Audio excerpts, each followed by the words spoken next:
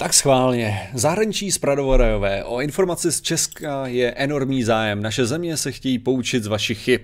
Je to absolutně skvělý, ale jsme středem zase pozornosti, jak se správně má prostě Česká republika, jak víte, tak prostě my, my jsme populární. Svého času, svého času si pamatuju, to bylo to, to, bylo to jaro, kdy jsme byli ve zprávách uh, ohledně covidu uh, v různých zemích právě kvůli tomu, jakým neuvěřitelným skvělým způsobem jsme zvládali, jakým způsobem jsme dokázali zvládnout světovou pandemii. A nyní, nyní jsme opět jsme opět středem pozornosti a to z důvodu toho, že jako vyloženě jsme úplně největší frajeři na nezvládání pandemie světově. Takže naše čísla, naše čísla není schopný pořádně porážet ani Slovensko, ať se snaží, jako respekt Slovensku samozřejmě, ale je to, je to teda, jak to překvapivý. No a samozřejmě o tohle to jde s, s zahraničním zpravodajem, protože není nic víc sexy, než prostě katastrofa. Ze stejného důvodu, jako my jsme třeba včera řešili Brazílii, Včera jsme řešili Brazílii, jakým způsobem tam Bolsonaro dokáže úplně skvěle pozbuzovat národ, a, tak my jsme podobným způsobem samozřejmě řešený v zahraničí, ač je to prostě super zábavný a, a totálně ne, vůbec nesmutný. A, takže jaká je, jaká je momentální situace? No, nejvíce samozřejmě zajímají o zprávy z České republiky naši sousedé. A, to znamená prakticky hlavně Němci. Hlavně Němci, Poláci ty mají svých starostí docela dost, Rakušáci mají svých starostí dost a Slováci ty rádi pozorují naší situaci právě z toho důvodu, že to slouží jako taková předpověď toho, co se pravděpodobně bude dít u nich. Je pravda, že v některých věcech já mám pocit, že Slováci jsou pokrokoví, u nás zase naopak, jakože občas, občas jsou pokrokoví Slováci, že dělají chyby dřív než my a následně prostě přijde něco, co my dokážeme udělat dřív jak Slováci a takhle se neustále jako předháníme, jo? protože důležitý je, že ty chyby děláme všichni. Jo, to je ta klíčová věc, že jak Slováci, tak Češi děláme úplně ty samé chyby, jenom se předháníme, kdo tu chybu udělá první. Jo, tady prostě například jako protesty proti, proti uh, očkování byly podstatně silnější na Slovensku jako první, až teprve se přenesly pořádně k nám. My jsme naopak dokázali podělat, uh, podělat pandemii podstatně dřív.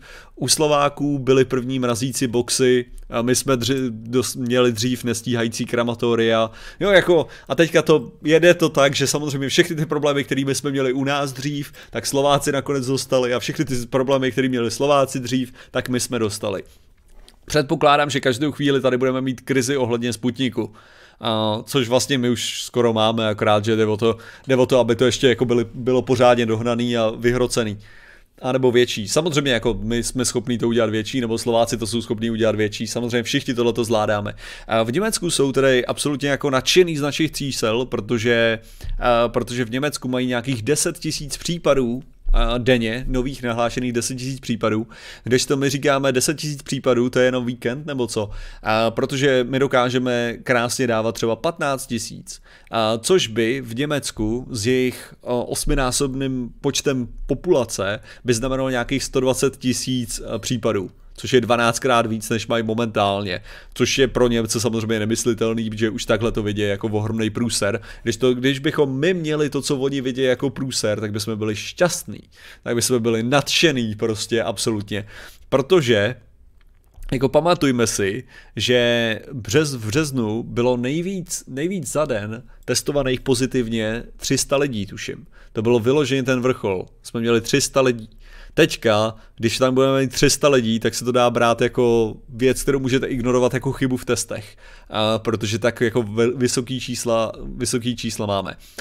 Každopádně o tohle je teda velký zájem, dokonce prý, že v zahraničních médiích tedy je věnováno zhruba třikrát víc prostoru v České republice než v minulosti, přičemž dříve to bylo podstatně jako já nevím, řešili se tam, řešila se tam pod, podstatě víc politika a nebo co se děje, jestli se, jestli se v Česku zavírají doly, nebo já nevím, prostě různý takovýhle krávoviny. Teďka že se, se v zahraničních médiích jako strojnásobil teda požadavek potom, aby tam byly o informace o České republice a zaměřují se jako exkluzivně na covid. Dokonce tady je rozhovor, částečně ČT má s, s novinářem Hansem Jürgem Schmidtem, Schmidem, Schmidtem a ten, ten říká, jako že píše pro několik různých, pro několik různých německých denníků a exkluzivně po něm chtějí prostě covidové zprávy, že prostě ať v žádném případě nemluví o ničem jiným a že musí být tak, tak pilnej jako eine kleine Biene Mája. To je, to je, to je vyloženě výraz, který použil a já jsem se musel na chvíli pozastavit nad tímhle tím výrazem, protože samozřejmě pro nás je velice kulturně, jako tohle to máme kulturně velice společné s Německem. A, jakože, o, dále, dále se teda tady mluví o o těch Slovácích, jak jsem říkal, protože Slováci to používají jako určitý pohled do budoucnosti, stejně jako my zprávy ze Slovenska používáme jako pohled do budoucnosti. A jinak svět píše, že taky, že v CNN, americká CNN se taky zaměřila na to, jakým jako masivním způsobem dokážeme ty věci nezvládat a právě kvůli tomu úžasnému kontrastu, který jsme vytvořili, kdy jsme skutečně byli best in covid v rámci toho, že jsme že jsme dokázali krásně čelit covidu a zároveň to, jak jsme dokázali obrátit do best in covid, že dokážeme všechno covidově totálně podělat že poukazuje se samozřejmě na to, jakým, jakým způsobem uh, nařízení se často mění, jakým způsobem lidé teda nevěnují pozornost vůbec nařízením, jakým způsobem máme momentálně restrikce v pohybu obyvatelstva, jak vlastně, jak je zajímavý, že v ostatních zemích můžou rozvolňovat, kdežto my máme přesně tu opačnou situaci, a takže je to absolutně jako překvapivý. A zároveň v dalších zprávách bylo uvedeno, a to už teďka jako jdu do takových jako základních klasických covidových zpráv, a, takže vlastně my jsme jako dokázali se dostat poprvé teda na hodnotu 9000 v sobotu.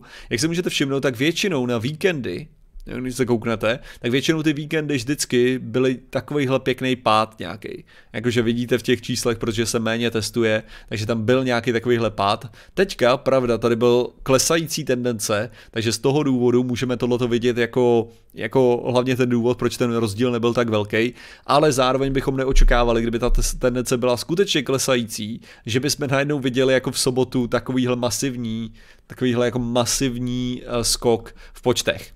Ačkoliv tedy na kurz, uh, kurzy CZ je epidemickou situaci v České republice ovlivňuje šíření nových variant koronaviru. Nově přijatá opatření se začínají projevovat. Teda. Uh, protože tady, tady udělali nějaké teda krátkodobé vy, vy, uh, vys, jak to říct, vyhodnocení těch dat a epidemie COVID-19 se včera se nachází jak v velmi rizikovém bodě, kde se pokračuje její růst. V průběhu února došlo k jejímu zrychlení, ale přes zachování opatření ke snížení počtu osobních kontaktů. Zásadní podíl na zhoršení situace má vzestup rychle se šířících, samozřejmě začíná to tady eskalovat, ale právě dále rovněž rezignuje relativním počtu testů, diagnostických a klinických indikace. Takže tady jde skutečně o to, že jsme zvýšili počet toho testování, takže by se dali očekávat zároveň trochu vyšší čísla, takže tohle to může, můžeme lehce jako balancovat, že ve skutečnosti to zvýšení naštěstí teda možná nemusí být tak strašný jako v tomhle. Takže tady, tady by byla nějaká jako pozitivní věc. Bylo sluníčko a lidi se druží do parku, čísla pokročila, si jich nezbavíme. Uh, jo, ale zase, zase zase můžeme tady přihodit ten, ten opačný ten, ten efekt, jako bylo sluníčko, což znamená víc UVčka, víc desinfikování prostředí teda. Ale velmi stále vysoká rizikové postupující zátěž je hlášena lůžek intenzivní péče. Tohle to je ten hlavní faktor. A důležité je si uvědomit, že nehledě na to, jaký budou čísla tady v tomhletom, tak je nutné brát v potaz to, že tyhle ty čísla většinou jdou zhruba 14 dní před uh, situací v nemocnicích. Jo. To znamená, že když máme takovouhle tady situaci na tom, na hodnocení, tak to znamená, že za 14 dní narazíme na tohleto v nemocnicích. Jo, tady ten, tenhle ten rozdíl. A to je daný prostě kvůli tomu, že nějakou dobu trvá, než lidi se dostanou z toho, že je mi nějak blbě, jdu se radši otestovat, do stavu, sakra, já potřebuji do nemocnice. Takže, takže ten problém bude přesně v tom, že uh, tady, tady, tady uvidíte, že vlastně momentálně je teda akutní počet, uh, tady aktuální počet hospital, hospitalizovaných osob klesl, ale bohužel, co pravděpodobně můžeme očekávat, bude stoupnutí bude stoupnutí, protože tyhle ty čísla nám jdou nahoru stále. Takže i kdyby teďka došlo k nějakému rozvolnění, tak za pravděpodobně za 14 dní teprve přijde ten hlavní vrchol u těch lůžek a teprve následně přijde tak rozvolnění k nějakému jako omezení toho šíření. Teprve následně dojde k tomu, že, že vlastně případy, případy se začnou snižovat v těch nemocnicích. Což jako už se tak nějak řeší, nějaká příprava. Ale to, že to dokáže udělat YouTuber, tady tenhle ten závěr, to znamená, že to dokáže udělat uh, samozřejmě lidi v nemocnicích, jo, takže Uh, samozřejmě tyhle ty věci se řeší. Uh, pravděpodobně v nějakém bodě na to přijde i ministerstvo zdravotnictví, předpokládám. Takže budeme, budeme doufat. Uh, další věc byla i ta, že se začala co já vím, tak se dostala do toho do další dávky, další dávky AstraZeneca a začaly být rozvážený, takže to je docela jako pozitivní věc, až by se to dalo šířit, takže to je pravděpodobně to, co za chvilku bude CNN reportovat, jak se máme skvěle a že ve skutečnosti s tím bojujeme úplně úžasně. Já teda aspoň budu doufat. Ale očkování momentálně, když se koukne na ty čísla, tak hele, je to, je to, chtělo by to se dostat asi na 100 tisíc denně, ano, souhlasím, jako chtěl by se to dostat na tyhle ty vysoké čísla, ale popravdě, hele, 30 tisíc, to, je, to jsou pěkný čísla. Já doufám, že to takhle bude pokračovat a že skutečně jako nějakým způsobem bychom nad tím mohli vyzrát. Teďka jde o to, že i když se dostaneme dál s tom letom, tak je samozřejmě důležitý to, aby všude na světě to bylo zastavené. Protože pokud nebude, tak se samozřejmě objeví víc a víc kmenů a víc a víc kmenů znamená ty mutace a další problémy a další problémy. Takže to je nutný hodně rychle jako řešit, protože my fakt nepotřebujeme, aby lidi byli nemocní, protože to přináší další problémy.